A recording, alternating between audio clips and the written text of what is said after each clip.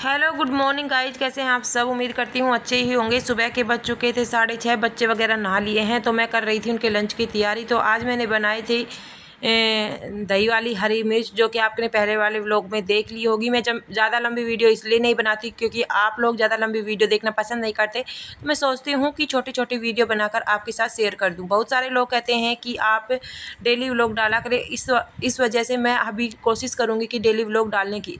तो यहाँ पर मैंने बच्चों का लंच वगैरह बना दिया था, बच्चे स्कूल जा चुके हैं, दीदी भी स्कूल जा चुकी है हस्बैंड ने पशुओं को नहला दिया था तो बाहर का आउटडोर साफ़ करती हूँ मैं, उसके बाद फिर हस्बैंड का लंच वगैरह बनाने की तैयारी करती हूँ। सबसे पहले बच्चों का लंच वगैरह पैक करके उनको भेजती हूँ। सुबह सुबह उठते ही सबसे पहले मेरा ड्यूटी किचन में होती है। किचन के सारे काम समेट लेती हूँ, लेकिन अभी हमारा ब्रेकफास्ट बनना बाकी है। हस्बैंड मेरा और जिया जी का लंच बनना भी बाकी है। अभी तो कम से कम आधा पौन घंटा और लगेगा किचन में। ये आउटडोर साफ़ कर लेती हूँ। उसके बाद मैं इसको पोचा वगैरह बाद में लगाऊँगी। हस्बैंड अपनी ड्यूटी पर निकल जाएँगे साढ़े आठ बजे के करीबन। लगभग अभी एक घंटा बाकी है तो पानी वगैरह भी भर लिया था। अभी चला हुआ है टैंक के अंदर पानी तो हस्बैंड भर रहे थे पानी और पशुओं को नहला दिया। पशु आराम से बैठ चुके हैं। काफ़ी अच्छी ठंडी हवा चल रही है और मौसम भी ऐसा धुंधला धुंधला हो रहा है जैसे आंधी आएगी। पता नहीं अभी आंधी आएगी या जो अभी टाइम कुछ भी नहीं पता। वो आठ बज गए हैं। हस्बैंड जस्ट नहा रहे हैं और पानी वगैरह भर दिया बाहर का आउटडोर भी साफ़ कर दिया। मैं अपने ब्रेकफास्ट के लिए सोयाबीन उबाल के आई हूँ फिर सोयाबीन बनाऊँगी पराठा।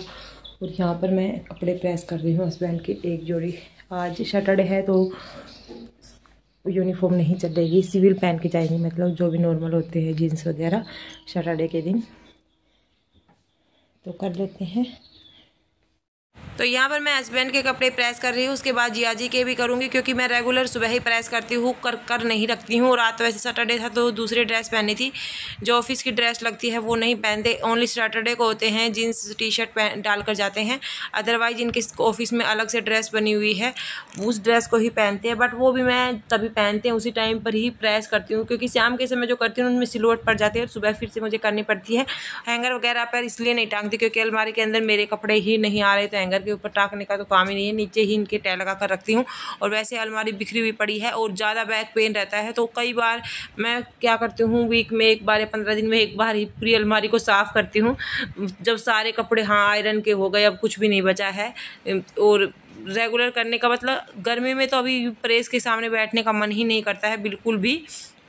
तो बस प्रेस वगैरह कर लेते हैं, उसके बाद आपसे मिलते हैं। तो यहाँ पर कपड़े वगैरह प्रेस कर लिए थे। हस्बैंड भी ड्यूटी के लिए निकल गए हैं और मैं अपना ब्रेकफास्ट बनाऊँगी। वो तो लस्सी का गिलास पी कर गए हैं। नहीं खाया उन्होंने। मैंने आज सोयाबीन के पराठे बनाने थे बट वो नहीं खा कर गए। तो ये दीदी सुबह कपड़े वॉश करके गई थी। अब मेरे सुखाने का टाइम मिला है। जो टाइम हो रहा है, साढ़े आठ बज चुके हैं और ये अभी सुखाऊँगी। तो अंदर ही सूख जाते हैं। अभी बाहर डालने की कोई ज़रूरत नहीं होती। जब रेगुलर कपड़े वॉश होते हैं तो स्टैंड के ऊपर ही आ जाते हैं। ऊपर वगैरह नहीं डालने पड़ते, क्योंकि ऊपर एक बार सुखा के आओ, फिर लेकर आओ। धूप में जाने का किसी का भी मन नहीं करता है। तो मैं क्या करती हूँ, सारे कपड़े स्टैंड पर डाल देती हूँ और शाम तक ही सारे सूख जाते हैं। शाम तक तो क्या दोपहर तक ही सारे सूख जाते हैं और धूल मिट्टी का भी कोई डर नहीं रहता, क्योंकि अभी आंधी का मौसम है तो बहुत ज़्यादा धूल मिट्टी उड़ती है खेतों से। बिल्कुल खेतों में ही घर है तो इतनी ज़्यादा धूल मिट्टी आती है, सारे कपड़े ऐसे हो जाते हैं जैसे धुले ही नहीं तो इस वजह से स्टैंड के ऊपर ही डाल देते हैं। वैसे स्टैंड हमने अंडरवियर्स वगैरह डालने के लिए जो भी होते हैं, बारिश के मौसम में दिक्कत आती है कपड़े वगैरह सुखाने में, तब लिया था बट अभी गर्मी के मौसम में भी बड़ा फ़ायदेमंद हो रहा है। रात को भी कपड़े वॉश होते हैं तो इसी के ऊपर डालकर सो जाते हैं, कोई दिक्कत नहीं होती कि कपड़े कहाँ सूखे हुए हैं, कहीं नहीं, कि अंदर है आराम से ऐसे ही होता है।